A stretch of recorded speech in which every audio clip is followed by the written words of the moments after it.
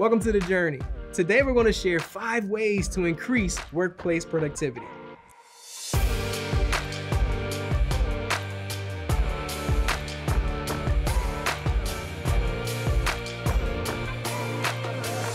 Hey, I'm Sam and this is Emma. So Emma, what are your tips on how to increase workplace productivity? Well, first, I want to point out that oftentimes companies fall into this pattern of doing things that are trendy. So while the ping pong table and the fire pulled aside down to the second floor can be fun and amusing, it doesn't have quite the long term effect that we're going for. So I want to dive into five strategies to really hone in on improving workplace productivity. So, Emma, what's your first tip? So, first tip to increase workplace productivity go natural. This is a great time to remind yourself go outdoors, get some natural lighting. Also, add some flowers or plants in your life. You can put that on my desk, please. A little greenery will really help to keep the natural vibe and increase workplace productivity. All right, so what's next? making sleep a priority. This is something that I cannot stress enough. Definitely let your employees end their workday when they should end their workday because you know what happens after work. Your employees have to run errands, maybe do things for their family, do things in their social life, and then you still got to fit in dinner and sleep.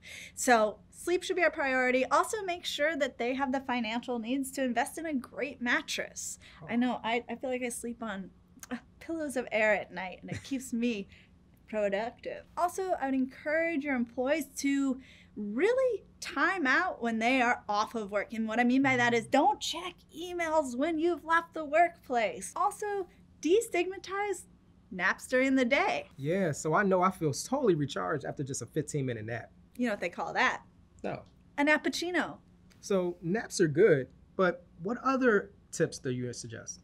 I strongly encourage downtime. One thing that I see even my coworkers do, and I've kind of gotten in the habit of being like, stop doing this, is don't eat lunch at your desk. Take that time to go outdoors, change of scenery. It'll really help refresh your brain and your productivity. Um, also, I'd encourage working like 52 minutes mm-hmm. and then taking a 17 minute break. 52 mm-hmm. minutes, 17 minute break. That's easy to remember. 52 minutes, 17 minute break. And I also would encourage to go outside, maybe do some yoga. That has been really helpful for me mm. to just clear my head. Also, I, I, sit at a desk a lot of the time or I'm standing presenting. So it's just good to get in other positions, stretch it out, and it'll also help to increase your productivity. So we've talked about, you know, mental and, you know, resting, but what are some other physical tips of how to increase the workplace productivity? Ergonomics. I know at the GoDaddy office, we are great at doing this from having the right size desk. You could do stand up desks, sit down desks, even certain chairs are good for your lumbar. And then also having the computer screen 24 to 36 inches away from your eyes so you're not straining them. And even down to the mouse you use, that's important, and the keyboard. Mm-hmm. Avoid the carpal tunnel.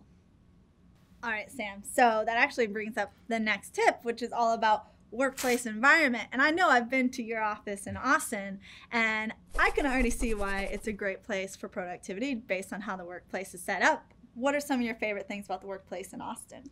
So in Austin, I enjoy the fact I don't really have to stay by my desk. Mm-hmm. We can actually, you know, they have other rooms that you can work in. Oh, the private rooms. Exactly. Comfortable or, chairs, bean bags. Oh, gotta love the bean bags. But it's all about, you know, along with the changing the scenery, get up and you know go to another place and you know you can let that creativity flow and be in those other areas. Yeah, and then we have that big open break room with the ping pong table and snacks. There's a barista, and then there's long bench tables so you can work with even some of your friends or some of your teammates. And then we have the offices as well. You can have a group meetings and another change of scenery of the big white marker boards. I always love doodling on those.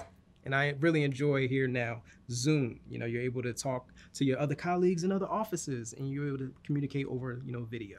All right, comment below. Let us know. What do you wish your workplace had that you think would increase productivity? Also, while you're at it, be sure to like this video, subscribe to our channel, and ring that bell so that you know when we have our new content coming out. This is The Journey.